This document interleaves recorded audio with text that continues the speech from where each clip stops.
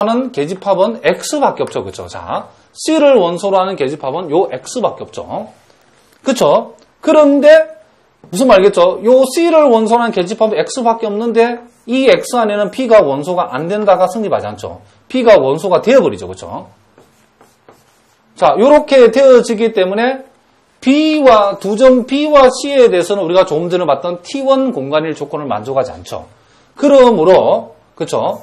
요 위상 공간 X는 T1 공간은 된다, 안 된다? 안 된다는 것을 우리가 알 수 있다는 거죠. 자, 무슨 말이겠죠? C를 원소로 하는 계집합이 X밖에 없는데 그 X 안에 B가 원소가 되어버리면 T1 공간일 조건을 만족한다, 안 한다? 안 한다가 되어버리죠. 그죠? 그러니까 A와 B에 대해서 비록 승립해도 B와 C에 대해서 승립하지 않으면 B와 C에 대해서 T1 공간일 조건을 승립하지 않으면 X는 T1 공간이 아니다라고 우리가 얘기한다. 이런 얘기를 합니다. 자, 무슨 말인지 알겠죠? 그러니까 예를 들면 시험 문제에서 우리가 보통 이와 같은 집합 X의, 집합 X의 위상을 T를 이렇게 주었을 때에 요 X는 T0 공간이지만은 T1 공간이 아님을 보이라. 그렇게 시험에 나온다는 거죠. 자, 그래서 우리가 다음 시간에 T1 공간을 본격적으로 공부할 거지만 지금 T0 공간할 때 조금 조금씩 우리가 미리 공부를 해보자는 거죠.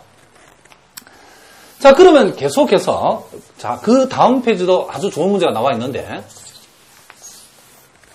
자, 여러분 교재 360번 문제를 우리가 한번 살펴봅시다. 자, 거기 보니까 자연수 집합 n을 자, 자, 자연수 집합 n을 우리가 요 집합 x라고 했을 때에 요 지, 자연수 집합인 요 x에 이와 같은 위상을 줬죠. 자, 자, 이 위상의 원소가 첫째는 공집합하고 자기 자신.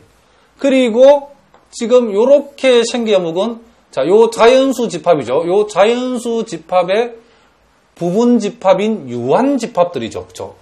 자연수 집합의 유한 부분 집합들을 뭘로 하는 계집합으로 하는 자, 그러니까 계집합이 요놈, 요놈, 요놈 걸로 돼 있죠.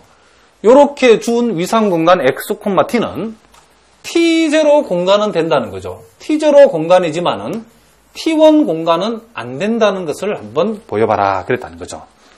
자, 그럼 먼저 t1 공간임을 보이고 두 번째 아, t0 공간임을 보이고 t1 공간은 되지 않다는 것을 우리가 한번 보여보도록 하겠습니다. 자, 먼저 우리가 요 놈을 보이는 방법은 요 자연수 집합에 속하는 서로 다른 두 점. 자, 임의의 서로 다른 두 점.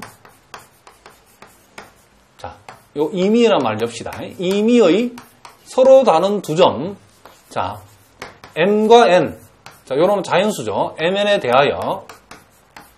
자, 일단 우리가 작전상 자, m하고 n 중에 크기를 n이 크다라고 우리가 둬도 우리가 크게 이제 상관이 없죠. M이 크다 해도 되고 n이 크다 해도 되고 어느 쪽으로 두고 풀어도 같은 결과랍니다.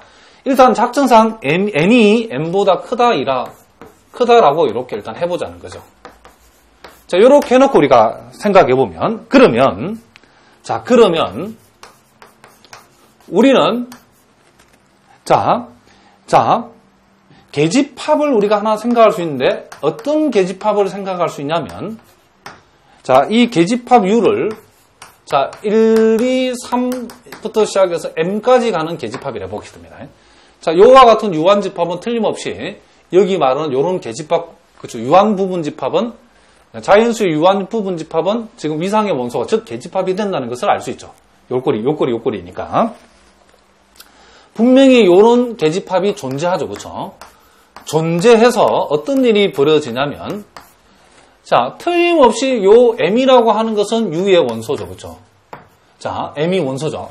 그런데 n이라고 하는 것은 요 계집합 u의 원소가 아니다는 것을 우리가 알 수 있죠.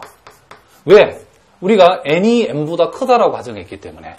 그러니까 m까지 펼쳐진 요 유한집합, 요 계집합 안에는 m은 원소가 되지만 m보다 더 큰 n은 원소가 아니다는 거죠.